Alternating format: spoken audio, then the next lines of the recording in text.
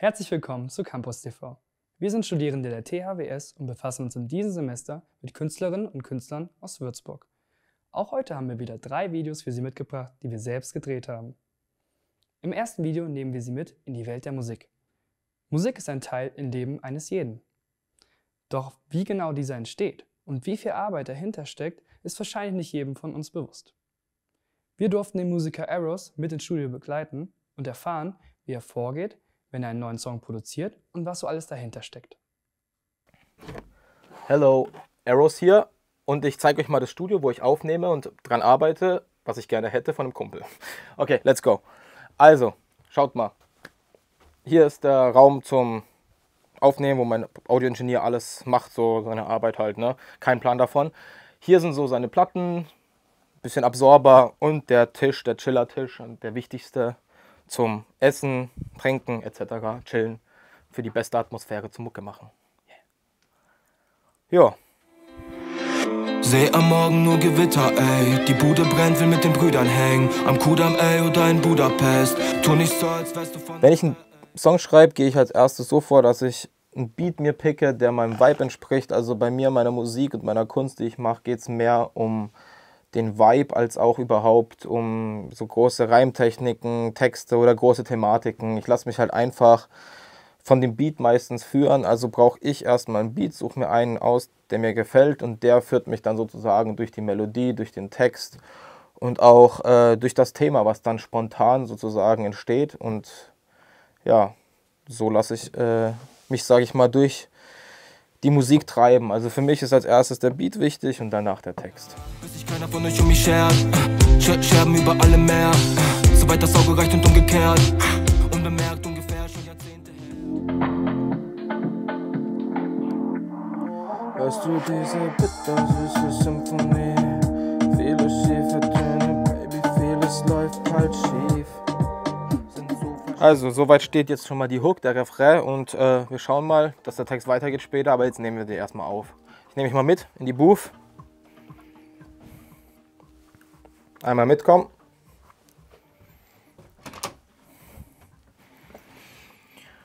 Genau, also so ein schalldichter Raum, der genau in der Akustik ausgerichtet ist und abgemessen ist. Da nehmen wir jetzt drin auf und schauen mal, dass die Hook zu einem Erfolg wird. Äh. Hörst du diese bittersüße Symphonie? Viele schiefe Töne, vieles läuft halt schief. Sind so verschieden, ja, so verschieden, ja. Wir kriegen uns, obwohl wir uns doch lieben, ja. Was mir ganz wichtig ist, ist halt, dass wirklich ich mir mittlerweile dieses Team aufgebaut habe von meinem Audioingenieur, mit dem ich auch richtig gut befreundet bin mittlerweile und auch mit meinem Videoproduzenten. Es ist halt äh, es macht halt einfach Spaß, mit den Jungs abzuhängen und auch Musik zu machen. Und ähm, ja, ich bin froh, äh, dass ich mit denen das machen kann, weil ohne dieses Team gäbe es einfach das, den Künstler Arrows nicht, die Musikrichtung, die ich mache, auch dieses Soundbild.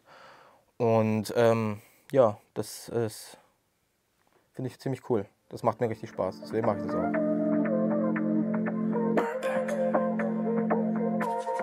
Hörst du diese bittersüße Symphonie? Viele schiefe Töne, vieles läuft halt schief. Sind so verschieden, so verschieden, ja. Wir kriegen uns, obwohl wir uns doch lieben, ja. Hörst du diese bittersüße Symphonie? Viele schiefe Töne, vieles läuft halt schief. Sind so verschieden, ja, so verschieden, ja. Wir kriegen uns, obwohl wir uns doch lieben. Sag mir nicht, du hättest nicht verdient. Tränen, nasse Wangen schmücken dein Gesicht, du lässt dich fallen auf den Asphalt. Splitternackte Wahrheit tut weh, es tut weh, wenn du gehst. Lass dich nie mehr los, doch lass dich im selben Moment angehen. Beim nächsten Video geht es an einen Ort, an den viele von Ihnen bestimmt schon mal waren. Und falls nicht, ist dies eine Empfehlung. Unsere Kommilitoninnen waren nämlich in der Schwarzlichtfabrik in Würzburg und haben dort den Künstler getroffen, der den Pit-Pad-Bereich gestaltet hat. Ich sitze gerade eben mit dem Künstler Momoshi. Schön, dass du Zeit für uns gefunden hast. Willst du dich einfach mal kurz vorstellen? Ja, also ich bin der Künstler Momoshi oder Mr. Momoshi. So bin ich auf Instagram und Facebook auch. Und ich bin Street Art Künstler. Ich mache hauptsächlich Wandbemalungen, Leinwände, Ausstellungen, ab und zu Bodypainting. Bemale Klaviere und eigentlich alles Mögliche, was ich bemalen kann. Und ich mache es jetzt schon seit fast 20 Jahren. Sehr cool. Wie bist du denn dann zu der Kunst gekommen? Zu der Kunst? Also ich war damals an der Uni gesessen, habe mich zu Tode gelangweilt. Es war eine Englischvorlesung und ich hatte so ein Blatt vor mir. Und ich habe dann total im Unterbewusstsein so reingeschmiert. Und so nach einer Stunde gucke ich drauf, so, das schaut nicht schlecht aus. Und dann habe ich wirklich so eine Stimme im Kopf gehört, so, äh, du wirst jetzt Künstler. Seit dem Tag, ich kann es vielleicht erklären, es ist wie so ein Algorithmus. Also ich sehe irgendwas und ich kann es sofort in meinen Style übersetzen. Also ich muss auch nicht viel nachdenken, das kommt ziemlich automatisch. Habe ich meinen Style, ich weiß, welche Form ich nehmen muss, welche Farbe. Eins deiner größten Projekte bisher war ja auch das Designen von dem Pitbird-Bereich in der Schwarzlichtfabrik. Mhm. Was war denn dann hier deine Inspiration dafür? So eine Inspiration am Anfang, eigentlich war ja geplant, dass diese Halle was mit Fußball zu tun hat, so eine Fußballhalle. Aber dann hat man sich entschieden, es wird eine Pitbird-Anlage. Und eigentlich konnte ich da machen, was ich wollte. Also ich durfte einfach, was mir gerade in den Kopf kam, so wird es eigentlich am besten.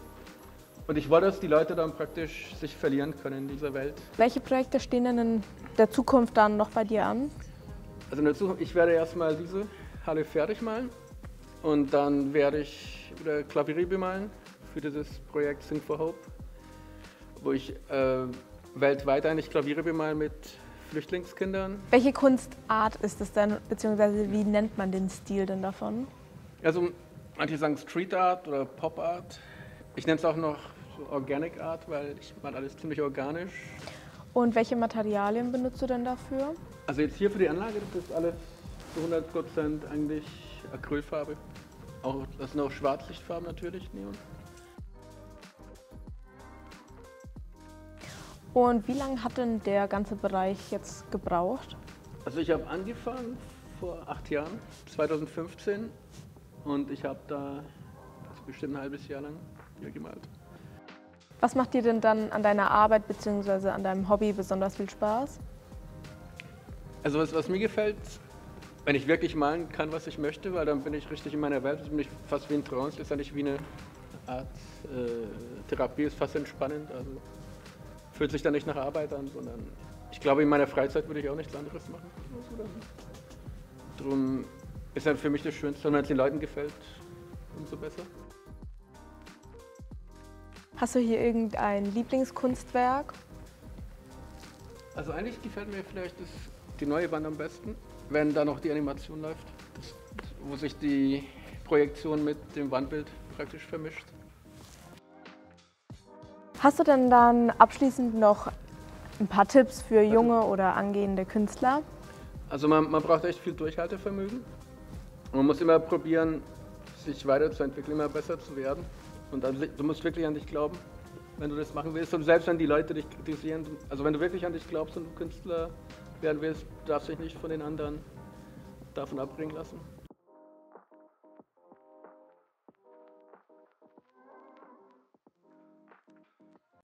Die Weihnachtszeit ist angebrochen. Glühwein und Weihnachtsmärkte sind überall zu sehen. Konnten Sie schon den süßen Versuchungen widerstehen? Ich jedenfalls nicht. Um sich im neuen Jahr nicht auf der Waage zu erschrecken, sind meine Gruppe und ich ins Fitnessstudio gegangen.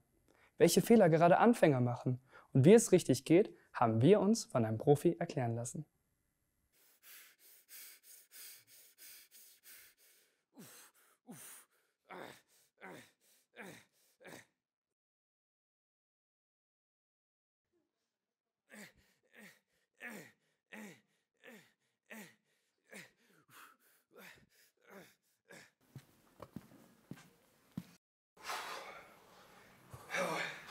Hey, sorry, du bist neu hier, oder? Ja. Darf ich dir ein paar Tipps geben? Auf jeden Fall. Fehler Nummer 1 bei Gymanfängern, was wir tagtäglich im Studio sehen, ist zu schnelles Training. Es bringt nichts, das Gewicht von A nach B so schnell es geht zu bewegen, sondern wir wollen die Bewegung kontrolliert ausführen und so langsam wie möglich. Also wir wollen quasi das Positiv immer etwas schneller ist als Negativ und die Bewegung kontrolliert ausführen. oh Mensch, das ist wirklich zum Tod lang, das sage ich Ja, das glaube ich dir sofort. Aber Smartphone-Training sollte nicht unbedingt dabei sein. Da kommen wir schon zu Fehler Nummer zwei, das Smartphone beim Training. Wir alle kennen es, wir lieben es, aber im Training lieber weglassen, weil das lenkt uns im Prinzip nur ab und ihr besetzt natürlich auch das Gerät für Leute, die wirklich trainieren wollen.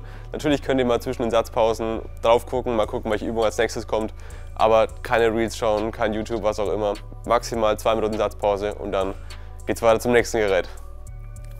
So wie zum Thema, da sind wir schon Fehler Nummer drei. Ja, man sieht eben häufig, dass die Leute viel zu schnell Geräte wechseln, ohne eine Übung überhaupt anzufangen oder halt wirklich zu vollenden. Wir empfehlen immer ungefähr drei Sätze pro Übung, um wirklich den Satz fertig abschließen, das heißt 15 Wiederholungen und erst dann das Gerät zu wechseln. Ich bin schon eine Woche hier im Gym, Alter. Ja, man sieht immer noch nichts. Ich bin schon drei Wochen hier. Man sieht auch noch gar nichts.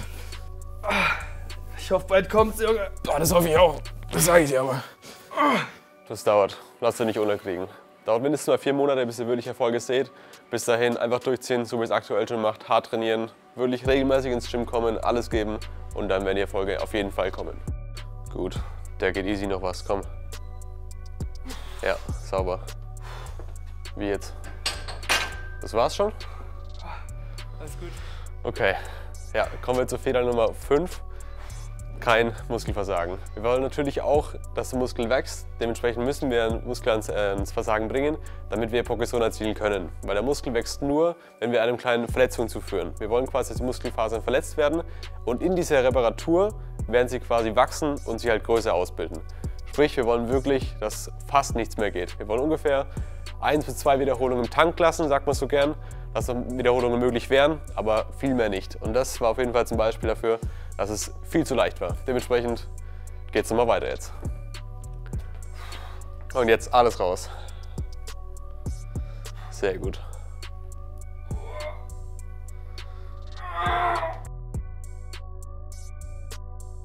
Bist fertig mit dem Training? Ja, Mann. Ey, war richtig gut. Ich habe heute so viel gelernt. Ich auch. Wahnsinnig viel gelernt. Nino, vielen Dank dir, gell? Gerne. Dankeschön. Hammer. Und was machen wir jetzt? Ich habe richtig Hunger. Hast du Hunger? Wollen wir zu Mc's? Sollen wir zu Mc's? Jawohl. Ja. Also, McDonalds wäre jetzt gar nichts. Die richtige Ernährung spielt natürlich auch eine sehr große Rolle. Ernährung macht bis zu 70 Prozent beim Training aus. Um wirklich Erfolge zu erzielen, müsst ihr euch richtig ernähren. Mein Tipp an euch, informiert euch über Ernährung und schaut, wie viel Kalorien ihr pro Tag konsumiert. Weil die Energiebilanz ist entscheidend darüber, in welche Richtung es gehen soll. Also fassen wir die fünf wichtigsten Fehler nochmal zusammen. Fehler Nummer eins war quasi, dass wir zu schnell trainieren.